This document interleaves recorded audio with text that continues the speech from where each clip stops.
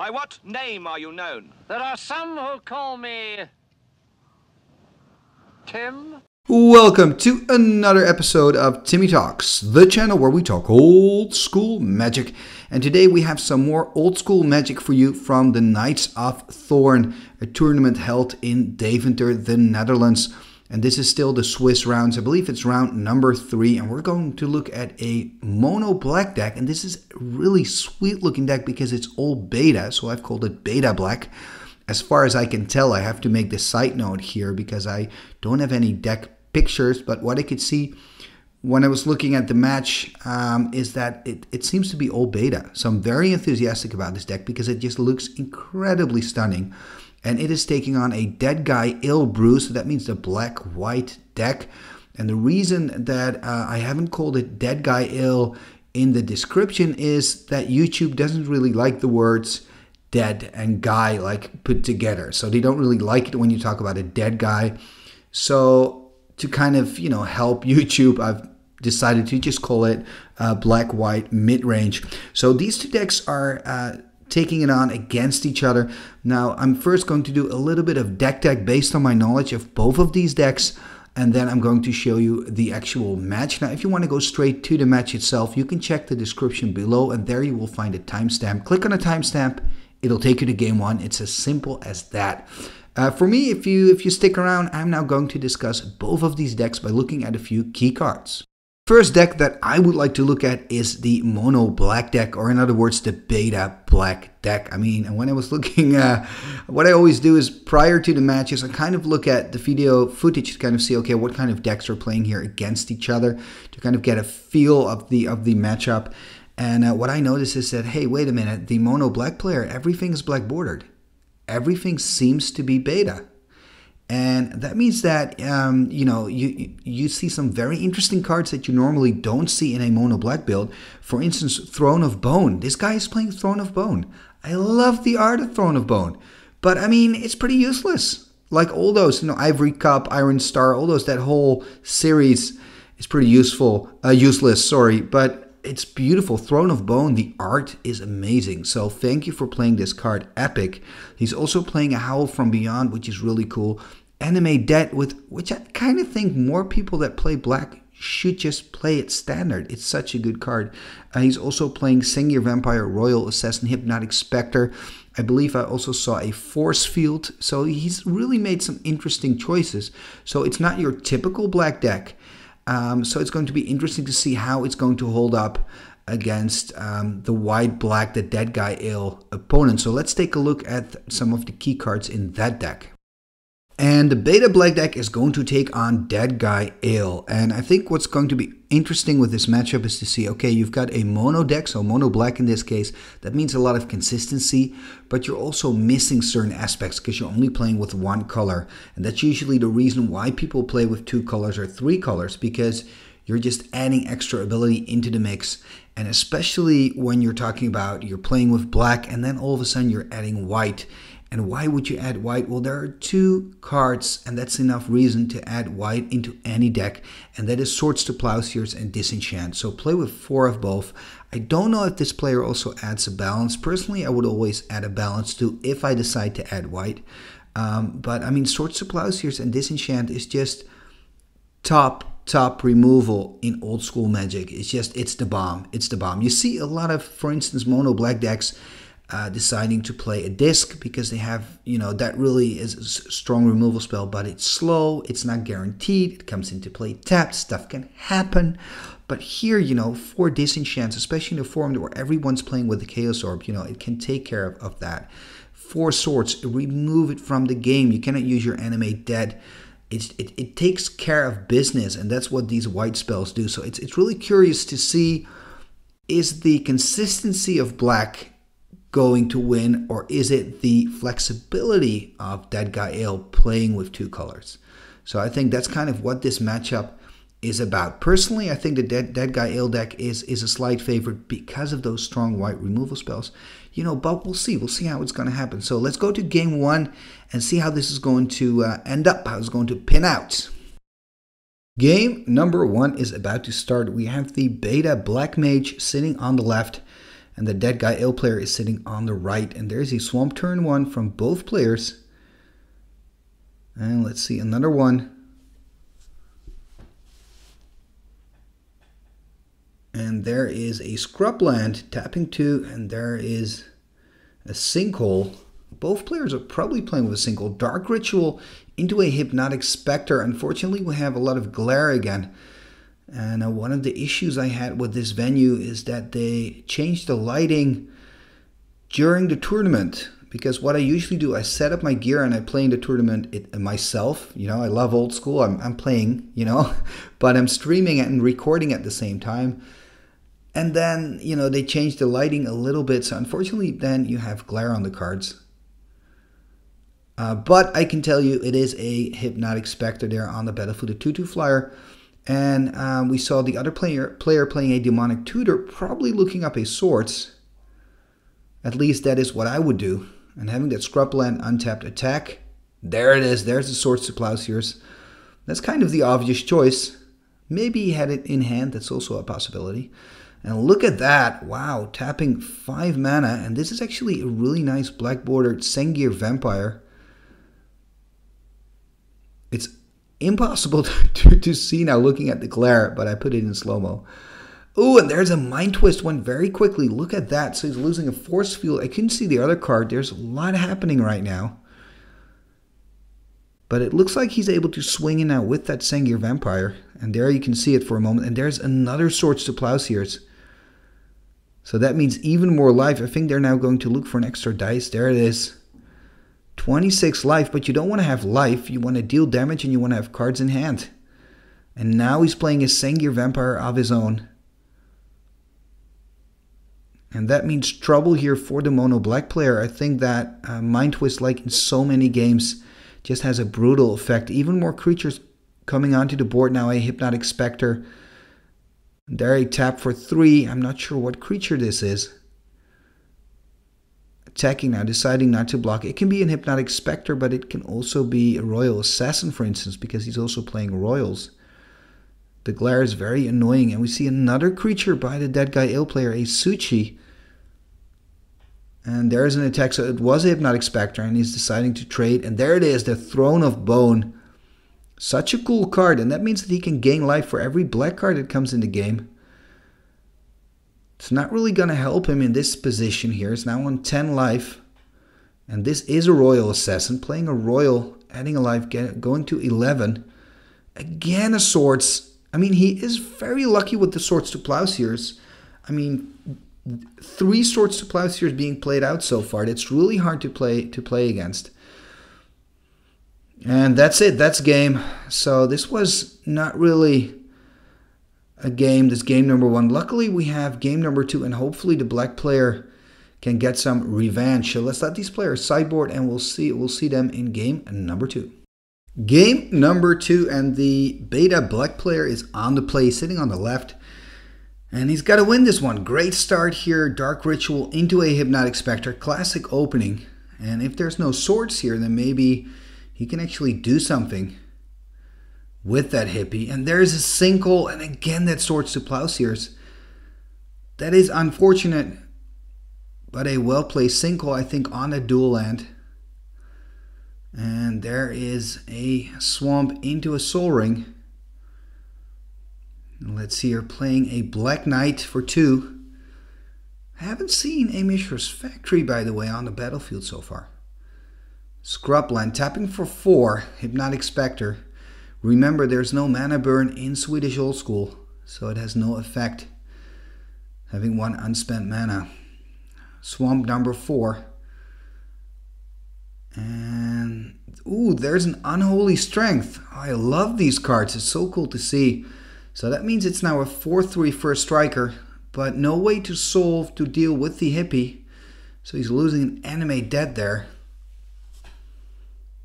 So despite a good start by the beta black player, it looks like the dead guy ale deck is really doing well here. And there's a royal assassin, so that could be that could be pretty good here if it can survive. Hopefully, the dead guy ale player cannot find another swords because we already saw Interesting, there's a block. He's actually making the mistake, and this is nice. The beta black player is saying, you know what, you can keep your uh, factory. I don't think I would have done that in all honesty. I mean, I'm a nice guy, but I also want to win, and I, I feel this is just a fair mistake on his side. And there's a drain life on the Royal Assassin. Taking a damage from his city, tapping three, some cards falling off here. Oh, this is interesting. Um, it's a circle of protection. It's white, it's from Legends, and you can prevent damage from a black source and from a red source, I believe or an artifact source, I kind of forgot. So if you know, let me know in the comments below. Um, in, in this case, what's important in this matchup, as we see there are some problems here with the recording, by the way. Um, a lot of glitching, but what's important in this matchup to realize is that it's a circle protection for black, basically. But I believe you have to pay a white and uh, colorless. There's an attack for 4 here, so the beta black player is going to 14. It's not looking good. There's a juggernaut. A beautiful beta juggernaut, so that can be useful. Passing turn because attacking with the Black Knight doesn't make any sense. Attacking again there with the flyer. Playing the Throne of Bone. Attacking with both. Paying 2 to prevent the damage. Oh, and there's another Swords to Plowshares. Does mean that he's taking 5 life. So he's going back to 17.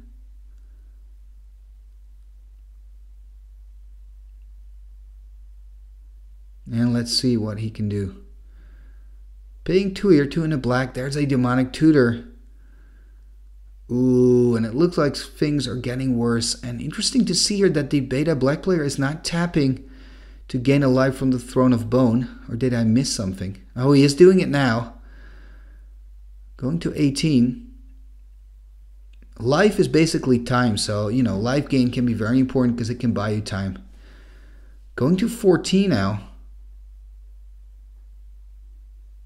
Paying four mana, and I can't really see what that is. Super annoying, all this glare. It doesn't look like... Is it a creature? I think it's a creature. If it's a black creature, the circle protection can still deal with it. Another attack here is going to 12.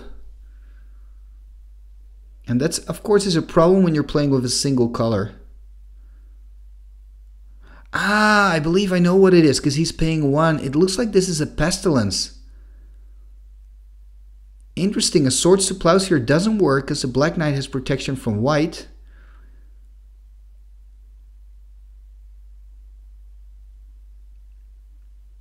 Interesting to see these plays here. It's a little confusing. I believe he has a Pestilence now. And if he pays two, that means that the hippie dies. That's not a bad idea. That's exactly what he does here.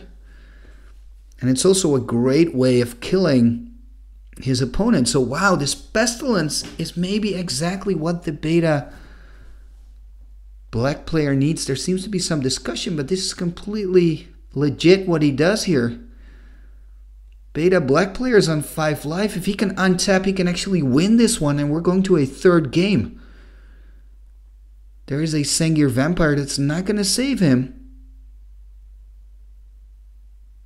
And again, he's putting two more damage through just to be on the safe side.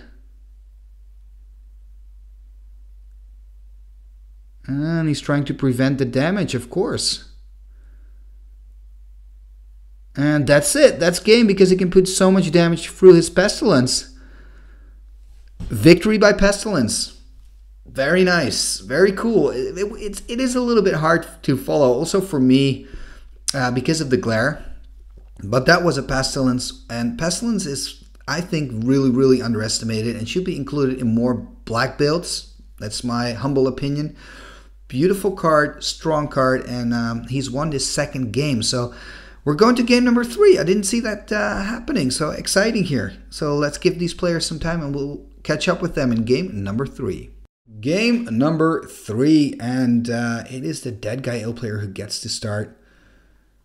And it's interesting to see, by the way, in this matchup, we haven't seen a single disenchant, so maybe the dead guy ale player isn't playing disenchant. I assumed that he does because he's playing with white. Maybe he just didn't pull one yet. That's also, but he is really finding those swords to plowshares. Oh, and look at this. It looks like the black player has to take a mulligan here. We're doing the London mulligan rule, so he can put one here in the bottom of his library. I see a lot of swamps in his hand. He is keeping it. That means he's starting with six, gets to draw number seven. Both of them playing a basic swamp here. Game number three, the decisive game. There is a scrubland and again a sinkhole. And those sinkholes, they hurt the most early game when you're playing against a mono player. If you find the sinkhole late game, it's not as useful anymore. And there we see a Library of Alexandria. Again, that circle of protection. And this looks like a Black Knight. Tapping four here. There's a Drain Life for two.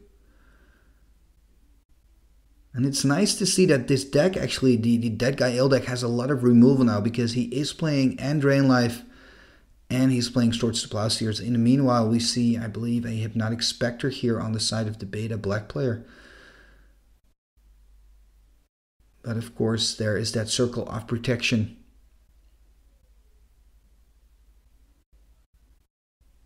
So attacking really isn't going to do much. Ooh, interesting here. Dark Ritual. And what is he playing? It's again, it's hard to see. It's a oh, that's cool. Is this a demonic hordes? I believe he's playing a demonic hordes. Oh, that's fantastic. If that is a demonic hordes, I believe it is. Oh, this glare is so annoying. Go away, glare. I want to see if it's a demonic hordes. No, not a swords. Not a demonic hordes. Don't do it. Don't do it. And look, there's an extra dice out of the screen. I believe that was a demonic hordes that he that he had on the battlefield. And what a shame. Ah, swords to plowshares. It's just too good. Anyway, there's this Sengir by the Dead Guy Ale player, and there is, I believe that's a Royal Assassin. Another card in the spotlight. And interesting to see, by the way, that the Dead Guy Ale player is really just ignoring his uh, Library of Alexandria, it seems, choosing to put pressure on it, on it instead on the game. In a way that makes sense, because he's ahead. And you can see this game really shows how incredibly strong a Swords to Plowshares is. Can you imagine this matchup if the Dead Guy Ale player didn't have a playset of Swords to Plowshares? Then this would have been a completely different different matchup. Completely different. And again, he's tapping a lot, playing a Drain Life, taking care of the Hypnotic Spectre. Tapping one. Is this a Will-o'-the-Wisp? I believe it is.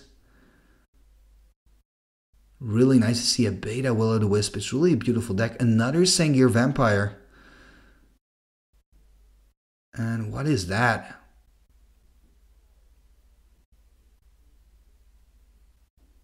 I don't know. If you know, please leave a comment if you can tell me what that card is. Attacking now, so he can block with the Willow. Ah, that's an Icy Manipulator. I believe it is. Yeah, yeah, I can see it now. So he's tapping one and taking four damage. That means that he can kind of now control the board with that Will-o'-the-Wisp and the Icy Manipulator. And now we can see it more clearly that it is an Icy Manipulator. End of turn, tapping the City of Brass. Oh, that's nice. Uh, what's that card again? Oh, it's the card with the two eyes, and you can look at somebody's hand and kind of take it over and play a card from it. Unfortunately, his opponent only has land cards in hand, so that means he cannot choose. So that's very unfortunate. It's a beautiful card, by the way. And it's not reprinted. I know that. I just, I, I cannot come up with the name right now. Please leave a comment if you know the name of this card. A great card. Tapping four here, playing another Pestilence. And Pestilence already won in one game. Can it win him another game? At least it can completely wipe the board clean. And that's not even a bad option. Tapping two here, there's a disenchant, so I was wondering before if this deck had any disenchants. It does. He just couldn't find them. And now he's attacking full swing, 6 damage, going to 12 here. And I think that Pestilence is maybe the thing that can keep him going. The difficult thing about Pestilence is that you deal one damage at a time. Oh, interesting here. Activating Pestilence already. Look, and what we see here is actually a wrong play because what happens is every time you activate, you pay a swamp, everything gets a damage. So you have to regenerate Will-o'-the-Wisp. Then pay a swamp again. Everybody gets a damage. You have to regenerate Will-o'-the-Wisp again. You cannot play it like this where you only regenerate it once, unfortunately. But hey, it's an honest mistake. These things happen. And we see that Willow's still on the board. And. Ooh, this is nice. An Unholy Strength on the Will-o'-the-Wisp. I wonder if he's also playing with Bad Moons. And the beta black player with his beautiful deck is on 8. And I definitely think that the Dead Guy Ale player is a strong favorite here because of that circle of protection. Attacking is not going to help him. So we're kind of at a standstill here. I wonder how this is going to end up. There's another creature, in this case the Hypnotic Spectre.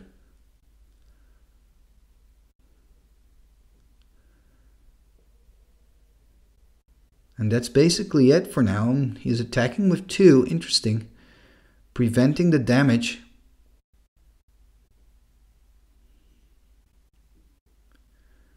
And that's all that he's doing, just passing turn. Maybe just wanted to see, you know, what's going to happen when I attack. What is he going to do? And look at that, he now has an active Library of Alexandria. So he gets to draw two cards as well. So I, I kind of feel like when the Dead Guy Ale player finds a disenchant, that this game is going to be over fast. Because you can also use the swords to really deal with the Will-o'-the-Wisp. There we see him draw a second card because of that library.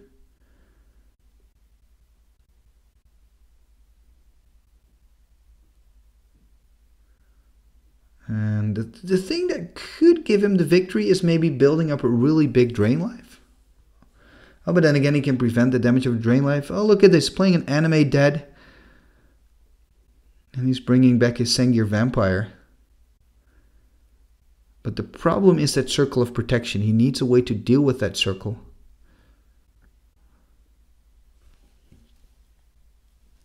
But it looks like it's not going to happen. And I wonder what uh, Dead Guy Ale player is drawing, because he's drawing two cards a turn, but he's not really finding anything, it seems. And here's playing a Black Knight, again attacking with everything. That means he's taking one damage from his own City of Brass. So finally he's getting some damage in. Drawing an extra card again from the library. Uh, it's, it's, it's kind of developing into a very interesting game, this kind of standstill because of the pestilence and the circle of protection.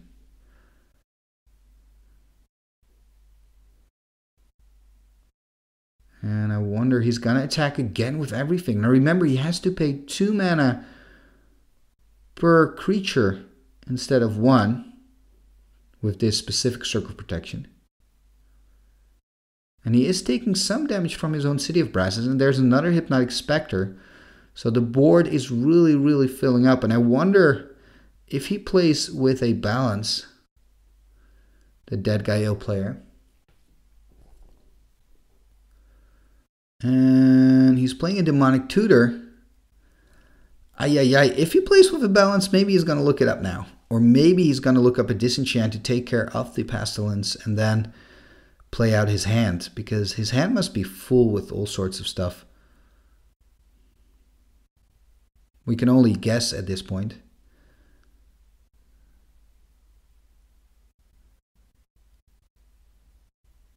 Oh, and there's the balance. yeah, I was waiting for the balance. On the other hand, I mean, he is emptying his own hand now, the Library of Alexandria player. And because there are no creatures in the game, the Pestilence will be removed at the end of turn. But that happens at the end of turn. So if he plays a creature now, then he's keeping the Pestilence alive. So I assume that Dead Guy Ale player will not be playing a creature. But who knows? And he can keep two cards because the beta black player has two cards in hand still. Interesting, he's deciding to just put four damage through. So he's going on two and he is on six. And it looks like that's the game. he's shaking his hand. He's saying, okay, man, you've won. Uh, because of that, ah, he couldn't do anything against the Mishra's factory, of course. Wow, interesting. So maybe activating that pestilence for four there at the end wasn't the best decision to make. I don't know. It looked really difficult in general for the beta black player to win with that circle of protection on the battlefield. But thank you very much, gentlemen, for this very entertaining match. It was fun to look at. Very interesting to see both these decks and the choices that people make. Um, very interesting. And that beta black deck is just beautiful. Look at that. Look at those cards. I mean, that's just great. I'm, I'm a little bit jealous. There's ah, there's even a nightmare there. Look at that. Ah, that would have been great to see a nightmare on the board. I always like Bad Moon, by the way, with Will o' the Wisp. I think there's some really nice synergy there. So uh, very, very cool games. Um, if you'd like to see more old school magic, you can click on the videos that are appearing right now on the screen. And if you want to see more of the Knights of Thorn, I do have a playlist, so you can go to the playlist to see some more games of the previous rounds. I will also be posting more of this tournament uh, this week and the upcoming weeks. For now, thank you for watching and see you next time at Timmy Talks, the channel where we talk old school magic. Icatus, Ficatus, Sumba, Kazee.